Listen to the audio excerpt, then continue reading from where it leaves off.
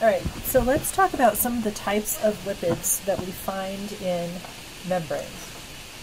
And this chart, um, I also have you kind of repeat some of this chart to help you study on a lipid uh, diagram that you have on Canvas. The big thing I want you to realize is that in general biology we learn about phospholipids. Right? And we usually draw them with their polar head and their two fatty acid tails.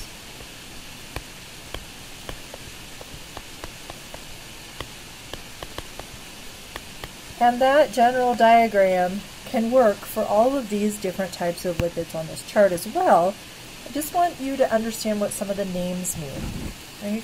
So when we talk about the phospholipids, we're saying that it has a phosphate, this choline phosphate as the polar head. But phospholipids can come in two varieties.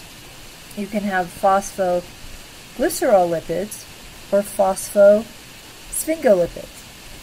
And the difference really is, is that the phosphoglycerolipids, which is what we learned about in General Biology 1, have this glycerol backbone and two fatty acid tails attached to it. Whereas sphingolipids have this sphingosine molecule as the backbone. And what I want you to understand is this is also a fatty acid tail. It's just already part of the sphingosine molecule and then another, a second fatty acid tail, whoops, is added.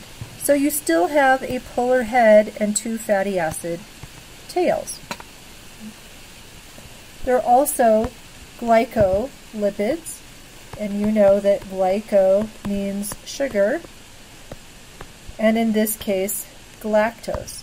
So the polar head for glycolipids is galactose, the fatty acid is either a glycoglycerol or a glycosphingolipid.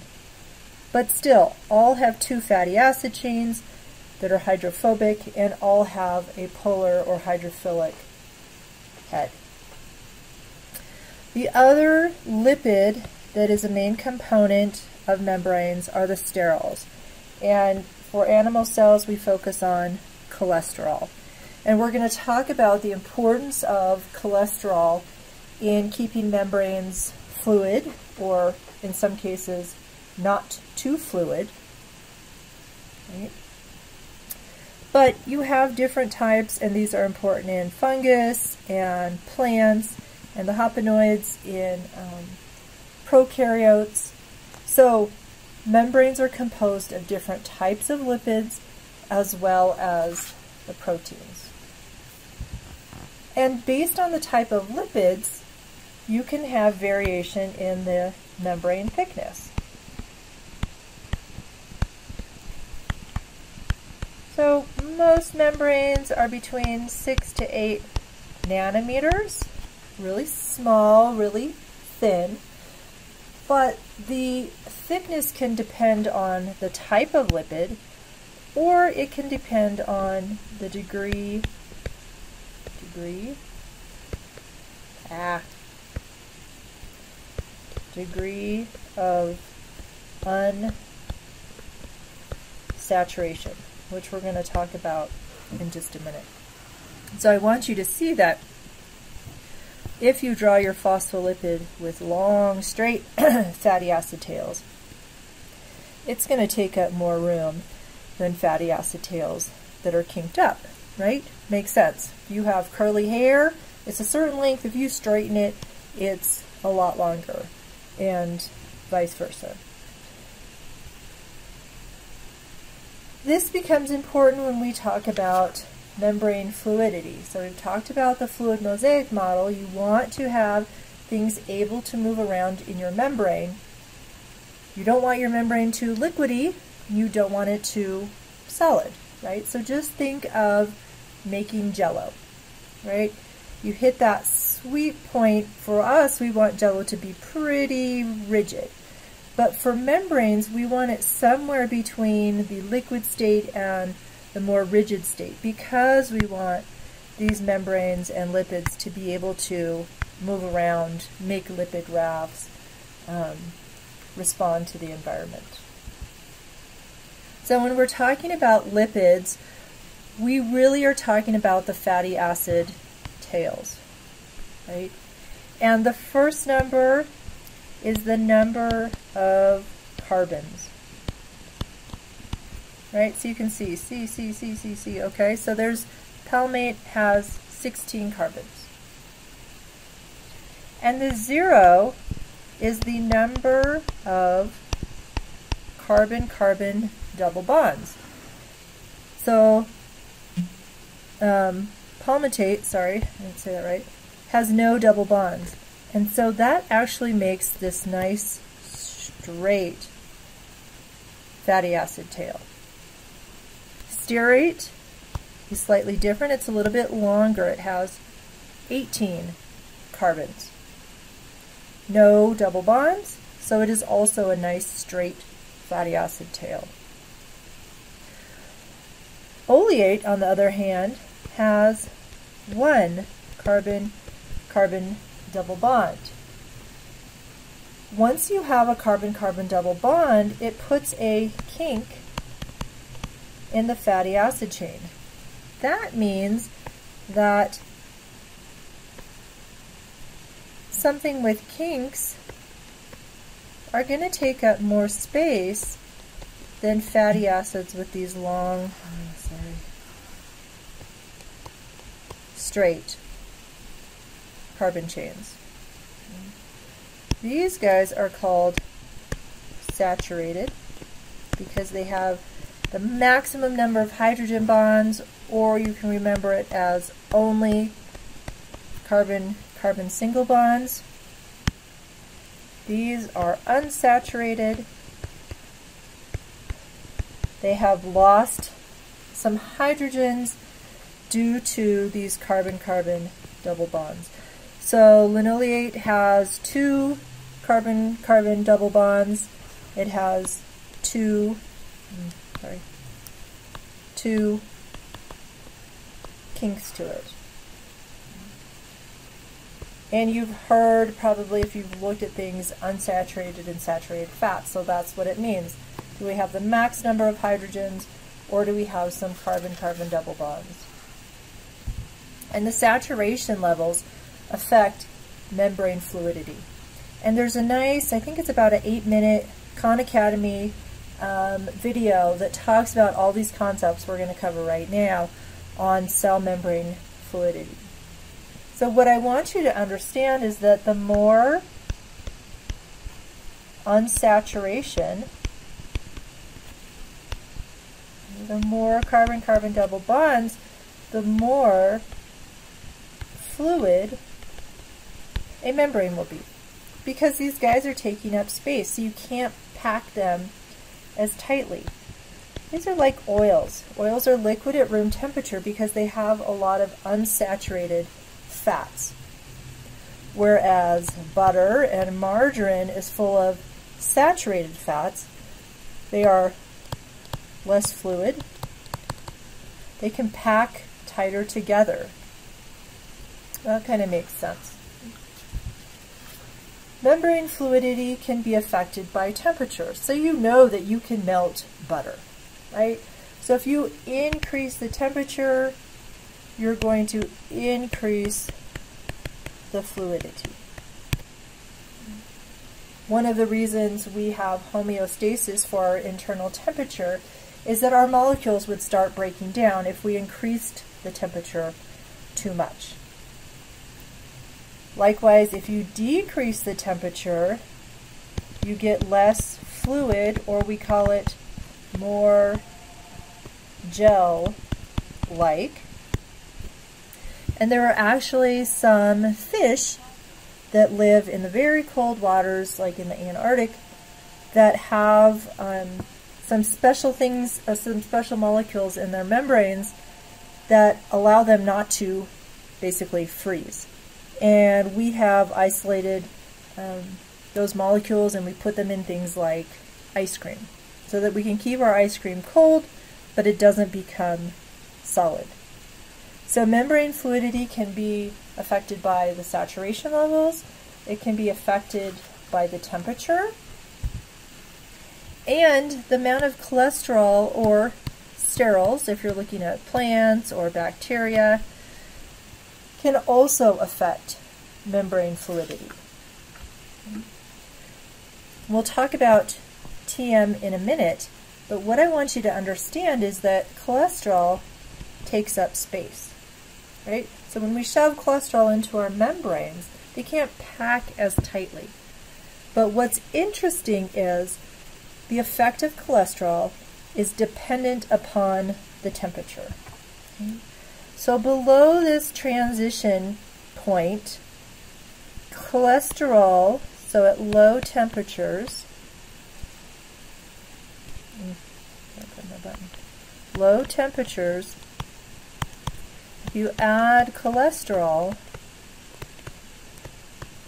you increase fluidity. So it doesn't allow those um, fatty acids to pack so tight and become the solid jello or gel. It keeps the membrane fluid. At temperatures above, so higher temperatures, cholesterol actually decreases fluidity, so it actually stabilizes. So you've got all these fatty acid tails moving around and you shove more cholesterol in there and it actually stabilizes. So cholesterol affects membrane fluidity, it just depends on the temperature. And that Tm is what we call the transition temperature. And this is something that scientists measure. This is basically the phase change temperature, where a membrane will become more solid, and not solid like a desk, but more gel-like, or more fluid. And so membranes, based on their components, will have different ideal TMs where they're at that nice balance and things can move around and the fluid mosaic model works beautifully. Degree of saturation can affect the transition temperature. So as a membrane increases the amount of saturation, the amount of carbon-carbon double bonds, its temperature, its transition temperature, decreases. So that means it's more fluid. Less saturated, just the opposite. Well, let's take a look at this. Another figure from your book, which is really important for you to understand this concept, is this is showing you the effect of chain length on the melting point or the transition temperature, and this is the effect of unsaturation. And what I want you to see is that as you increase the length, right, length of those fatty acids, it gets less fluid. Your membrane is less fluid because things are packing tighter together. Whereas, I didn't draw very good, do this very good. Shorter tails, whoops, will leave a little bit more space and make it a little more fluid. And you can see these like about 10 degree increases as you increase the number of carbons by two. What's very striking is this graph in the red here. There's a huge impact in the number of double bonds. Just going from zero to one double bond decreases that te transition temperature by about 50 degrees, right? That means if you have double bonds, you're much more fluid. And then as you increase the number of double bonds, the membrane gets more and more fluid. So you have a homework problem that allows you to kind of think about this concept and do some analysis. The last thing I want to, eh, just about the last thing, is the effect of detergents on membranes.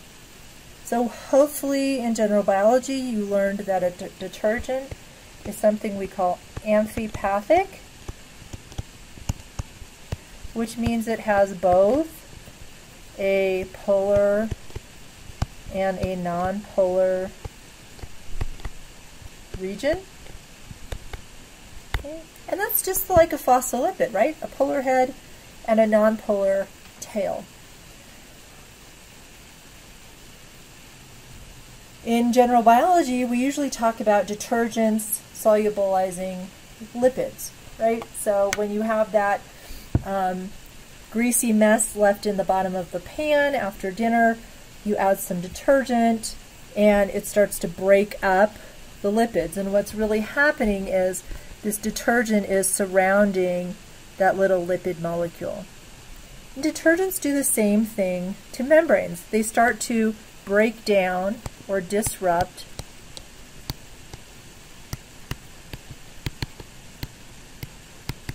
the membrane.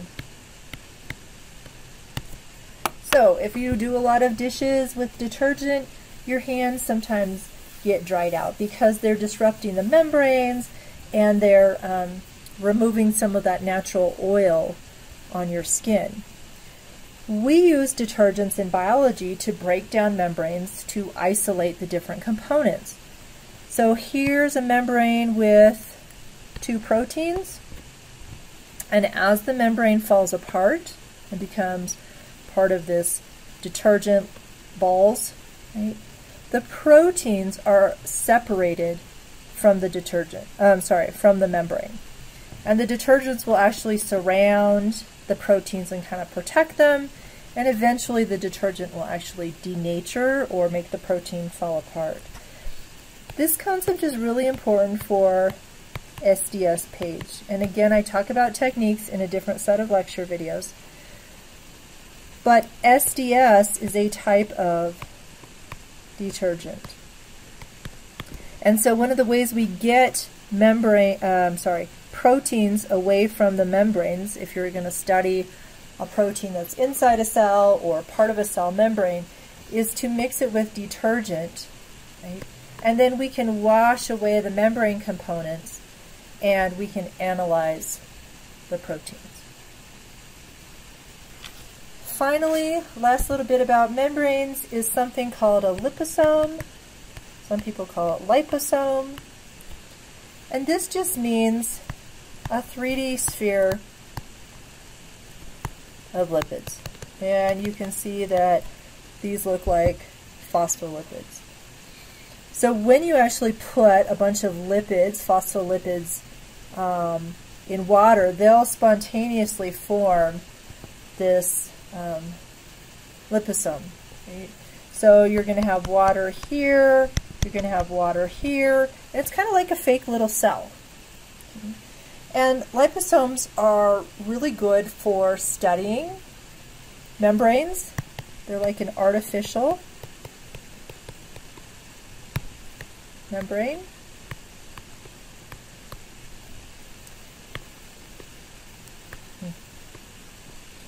Uh, I don't know.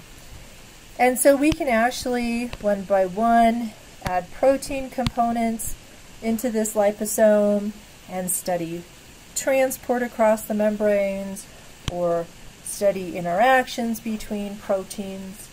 Um, so liposomes are used to study membrane dynamics, how things move. You could study um, saturation effects or cholesterol effects or temperature effects on membrane fluidity. Again, you can study transport like we'll talk about in chapter 8. And liposomes are one of the ways they're looking at delivering drugs. So instead of water in here, you would put your drug. And because a liposome looks like a membrane, here's your cell, that liposome can actually bind to the membrane and deliver the drug inside. This is an example of something called um, endocytosis that we'll talk about um, at the end of chapter 12. So, membranes are made of lipids and proteins. I want you to understand the different types of lipids, the different types of proteins, um, understand what affects membrane fluidity, understand some of the big concepts and um, terms that describe membranes, because in chapter 8 we're going to talk about moving things across the membranes. So transport, which is essential for maintaining cellular function. All right, thanks.